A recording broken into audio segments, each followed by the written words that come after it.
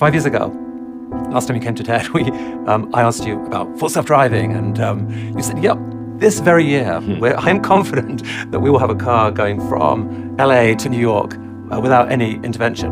Yeah, I, I, don't want to blow your mind, but I'm not always right. um, in, in, order to solve uh, full self-driving uh, properly, you actually just you have to solve real-world AI.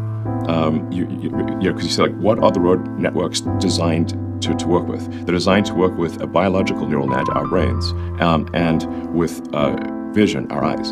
Um, and so, in order to make it work uh, with computers, you basically need uh, to solve real-world AI uh, and, and, vision, because we, we, we, need uh, we, we, need cameras and silicon neural nets uh, in order to have to, to have self-driving work for a system that was designed for eyes and biological neural nets.